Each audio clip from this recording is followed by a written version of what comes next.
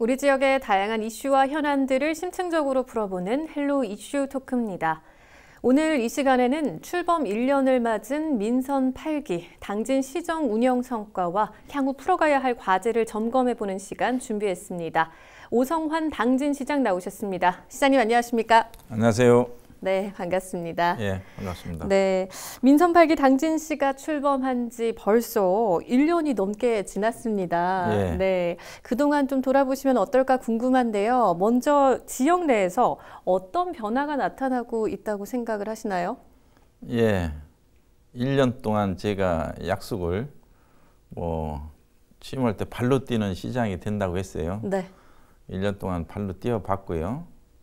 그 중에 변화가 된 게 이제 인허가예요. 음, 인허가가 당진이 안 돼서 수도권에서 당진하면 가지 마라. 어, 이런 인식이 많았었어요. 네. 인허가 안 돼서.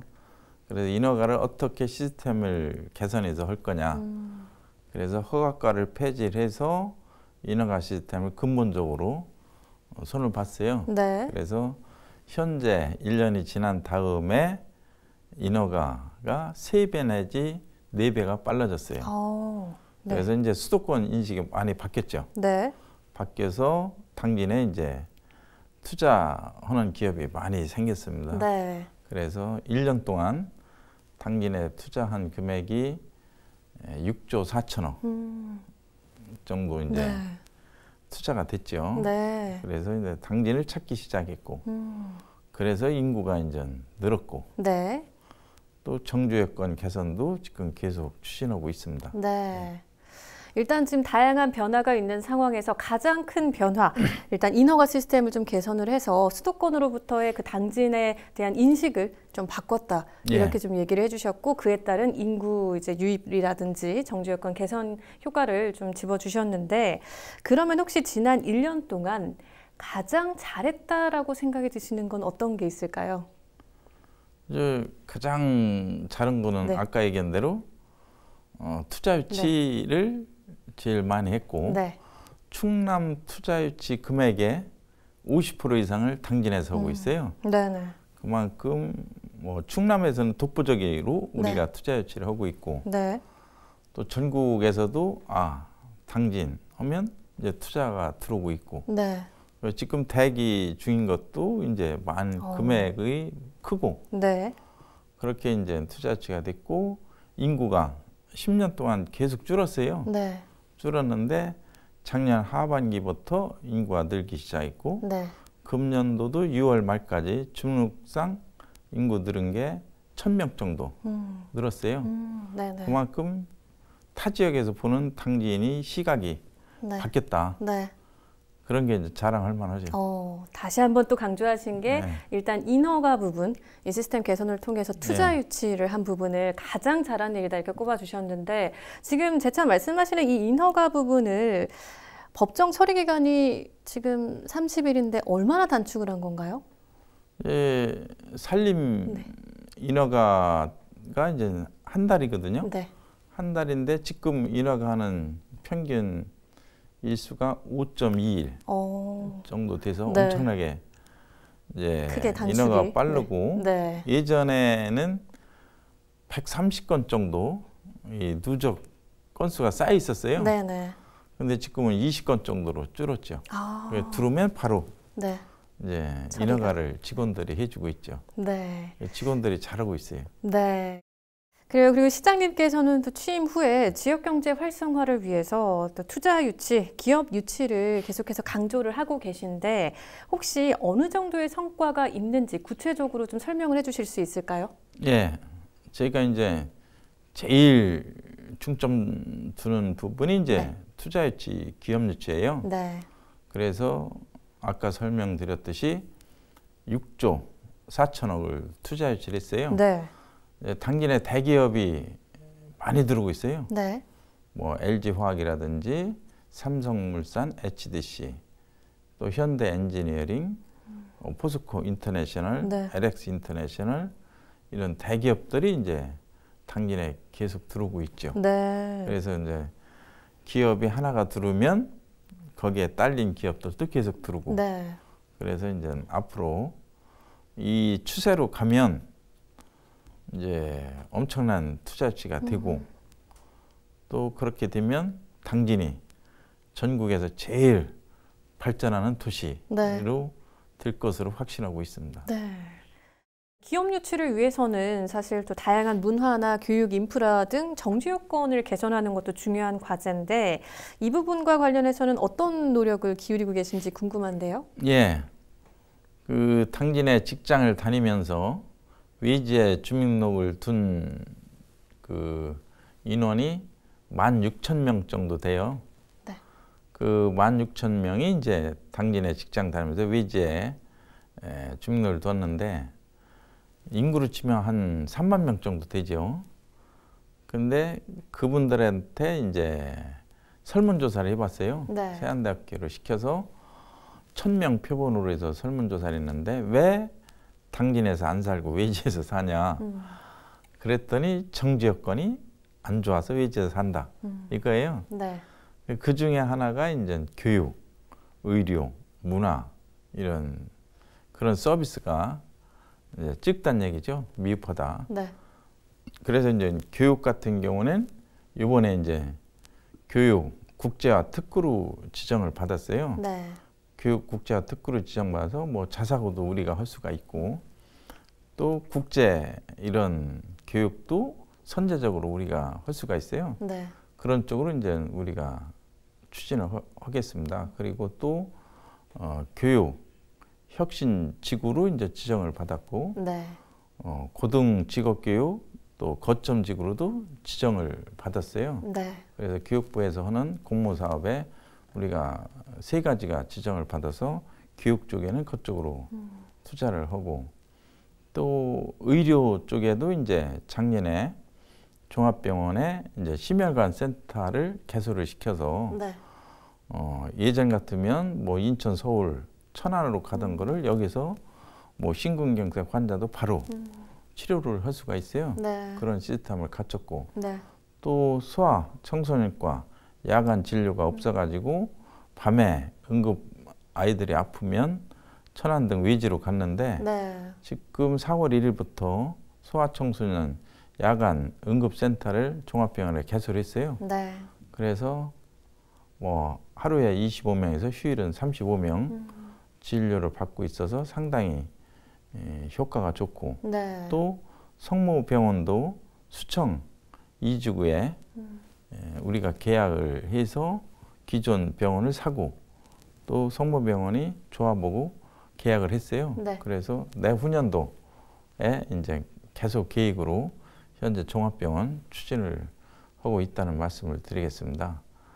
또 우리가 이제 정주 여건 개선을 위해서 이제 공원도 이번에 호수공원도 어, 지정을 했잖아요. 네. 그래서 추진하고 있고 남부 지역에도 이제 연호방죽이라고 있어요. 네. 연호방죽도 이제 사계절 정원으로 현재 추진하고 있고 네. 또 신평중에 우봉제 저수지도 또 240억을 들여서 어떻게 보면 거기도 어, 호수공원 식으로 어, 추진하고 있다는 말씀을 드리겠습니다. 이렇듯 시민들이 이 정주 여건을 개선을 위해서 우리가 행정에서 열심히 추진하고 있다는 말씀을 드리겠습니다. 소아 야간 응급 진료센터를 개설을 했는데 네. 이 부분도 좀 눈에 띕니다. 지금 후기를 살짝 보면 대기 시간이 30분 이내인데 또 필요한 분들이 무려 2천여 명이 넘게 또 이용을 하셨다고 했는데 실제 어떤가요? 만족도가? 지금 평일에는 네. 음, 25명 정도 진료를 받고 있고 또 휴일에는 35명 정도 진료를 받고 있어요. 네, 네. 그래서 이 설문조사를 해봤는데 80% 이상이 네. 이 상당히 좋다. 음. 왜냐하면 야간에 애가 아프면 네. 예전에는 천안이나 이런 데로 다녔거든요. 네. 그런데 지금 여기서 해소가 되니까 음. 이제 서비스가 더 좋아진 거죠. 네. 어, 정지 여건 개선도 되고 네. 그래서 이 우리가 병원이 종합병원이지만 이번에 이제 성모병원도 음. 우리가 계약해서 네. 돈도 지급했고 네. 성모병원에서도 종합병원으로 네. 지금 추진하고 있어요. 네. 그래서 의료 서비스가 한층 더 음. 시민들한테 에, 좋은 양질의 서비스가 제공될 거로 보고 있습니다. 네. 자, 그리고 또 주목할 부분이 대덕동으로 결정된 호수공원 조성 사업입니다. 사실 지역사회에서는 우려와 기대가 조금 엇갈리는 상황이기도 한데 앞으로 좀 어떻게 풀어나가실 생각이십니까? 지금 뭐 별 소문이 다 났었죠. 세계 지구를 압축해서 하다 보니까. 근데 엊그제 이제 결정이 됐잖아요. 네. 결정이 되니까 이제 뭐 다 그런 우려 어느 게 싹 들어갔죠.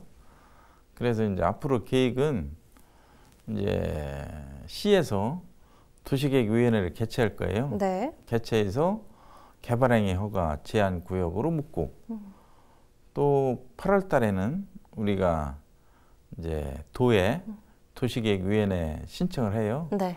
그래서 그 지역을 이제 허가구역, 이 제한구역으로 묶고 네. 그 다음에는 도시계획 지구로 지정을 해서 이제 어떻게 이 구역 범위를 확실히 정해서 네. 이제 우리가 이 용도를 지정해서 네. 개발할 계획에 있습니다. 네. 그리고 또 관광 활성화를 위해서 도비도와 난지섬 또 그리고 행담도 개발 추진 계획을 공언했습니다. 민자 유치를 통한 관광 인프라 조성 추진 과정에서 어려움도 좀 예상이 되는데요. 이 부분은 좀 어떤 구상을 갖고 계십니까? 지금 상당히 어렵게 가고 있어요.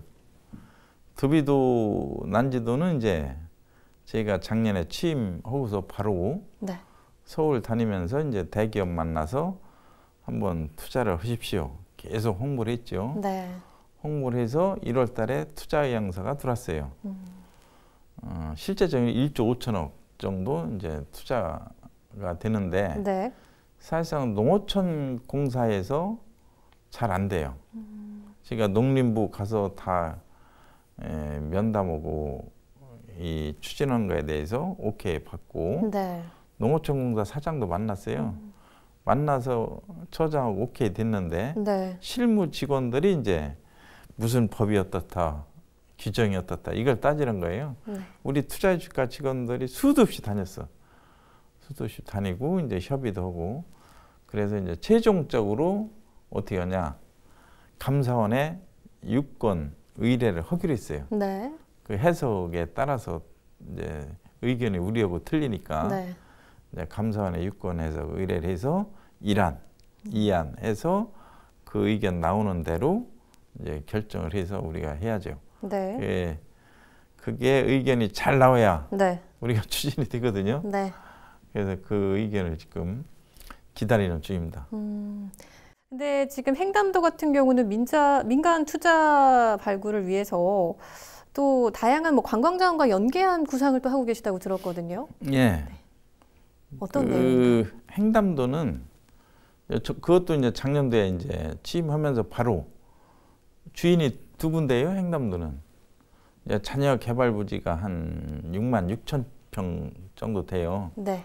근데 거기 토지주는 이제 도로공사, 개발 권한은 행담도 개발 주식회사 두 개가 있어요. 양쪽을 다 만났죠, 제가. 네. 만나서 다 오케이 받았고 시에서 하자는 대로 하겠다. 그래서 그 자료를 대기업에 줬어요. 네. 대기업에 주어서 분석 좀 해다고 옛날 통보가 왔어요. 한 두 달 전에 네. 면적이 찍어서 이 PC 분석에서 효과가 안 나온다. 음. 이거예요. 네. 그래서 그 하나 가지고는 어렵고 그래서 이번에 이제 친수 공간 의회에서 의결 받았잖아요. 네. 12만 평. 그래서 행담도 오고 친수 공간 12만 평 하고 같이 개발하는 거로 이렇게 추진하고 있고 네. 이번에 이제 용역비를 1억 5천을 세웠어요. 음. 해양 사큐천까지 해양 관광 벨트를 어떻게 에, 개발할 거냐. 그게 이제 같이 민자 유치하고 같이 가야죠. 네. 그래서 민자 유치는 계속 네. 지금 하고 있고 지금 양쪽 서울 한 달 전에 서울 가서 한 개 이제 회사를 만나서 협의를 했고 네. 다른 회사하고도 협의하고 있어요. 그래서 그게 잘 되면 그쪽도 민자협치에서 개발하는 걸로 이렇게 추진하고 있습니다. 네.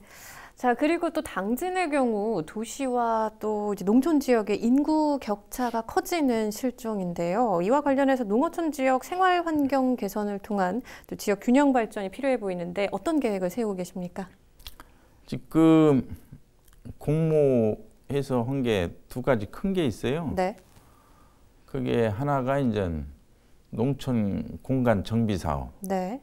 신평에 이제 대규모 축사가 있어요. 거살리 도시 바로 옆에. 그래서 그 환경이 안 좋아가지고 뭐한 20년 이상 이 민원이 발생하고 네. 해결이 안 됐었어요. 음, 그래서 이번에 농림축산식품부 공모에 네. 응모를 해서 네. 그게 다- 이, 당선이 됐어요. 음. 그래서 그쪽으로 이제 그 건축주하고 협의가 끝났고 네. 예, 이제 올해부터 이제 우리가 예산이 배정돼서 이제 설계를 하고 내년부터 이제 그 보상을 주고 네. 해서 거기를 새로운 이제 공원으로 조성할 계획이에요. 네. 예, 그런 게 있고 또 농촌 협약 사업이라고 우리가 하거든요. 네. 그것도 300억짜리 공모에 당선돼서 네. 농촌 협약 사업도 우리가 이제 내년부터 우리가 해야 되고 네. 그래서 그런 쪽으로 우리가 농촌도 어, 국비 받아서 어, 환경 개선 사업을 지속적으로 하고 있습니다.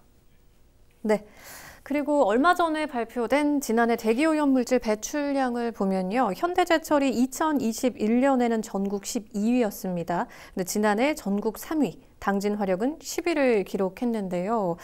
어, 보다 적극적인 미세먼지 저감 대책 어떤 계획을 갖고 계십니까?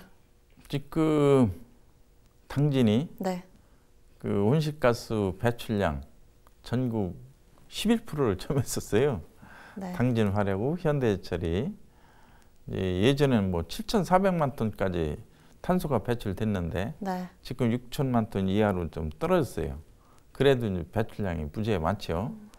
뭐 충남은 뭐 발전소도 많으니까 충남이 전국 최고고 그래서 연료 전환을 해야 되잖아요. 네. 당진 화력이나 현대해철이 유연탄, 석탄을 쓰- 쓰기 때문에 온실가스를 많이 배출하고 그래서 연료 전환을 하려고 우리가 하는 게 이제 수소 쪽으로 계속 추진하고 있어요. 네. 그래서 당진이 수소 도시로 지정받아서 회의를 지금 세 번을 했고 네. 또 어, 전국 최초로 수소 암모니아 부두도 1조 5천억 정도 어, 민간 사업자가 투자해서 하고 있고 네. 또 탄소 포집 예, 센터도 우리가 지정받았고 또 수소 관련 회사를 계속 우리가 추진하고 있고 또 이번에 합덕 그 순성 그린 컴플렉스의 100만 평 추진하거든요. 네. 어, 그 회사에서 전국 최초로 탄소 포집관을 매설을 해요. 그래서 전국 최초로 회사에서 생- 이 나오는 탄소까지 포집해서 처리하는 거로 네. 그렇게 추진을 하고 있습니다. 네, 시장님 마지막으로 방송을 통해서 더 전하고 싶은 말씀 있으실까요? 이제 제가 후보 때라든지 취임할 때 발로 뛰는 시장이 된다고 했어요. 그래서 1년 동안 발로 뛰어봤고 앞으로도 시민과 약속을 지켜야 되잖아요. 그래서 발로 뛰는 시장이 되겠다고 시민들한테 약속 이행을 해야죠. 그렇게 앞으로도 어, 발로 뛰는 시장이 되겠습니다. 직원들하고 같이 1,500명 직원들하고 전국에서 제일 발전하는 도시로 만들려고 발로 뛰겠습니다. 네, 발로 뛰는 당진 시장님 그리고 당진 시를 통해서 우리 시민 모두가 살고 싶은 명품 도시로 거듭나기를 저희 충남 방송도 응원하도록 하겠습니다. 오늘 말씀 잘 들었습니다. 고맙습니다. 고맙습니다. 네, 더욱 발전하는 당진시를 위해서 우리 지역 주민 여러분도 당진 시정에 적극적으로 관심 가져주시면 좋을 것 같습니다. 헬로 이슈 토크 오늘 저희가 준비한 소식은 여기까지입니다. 함께 해 주신 여러분 고맙습니다. 네.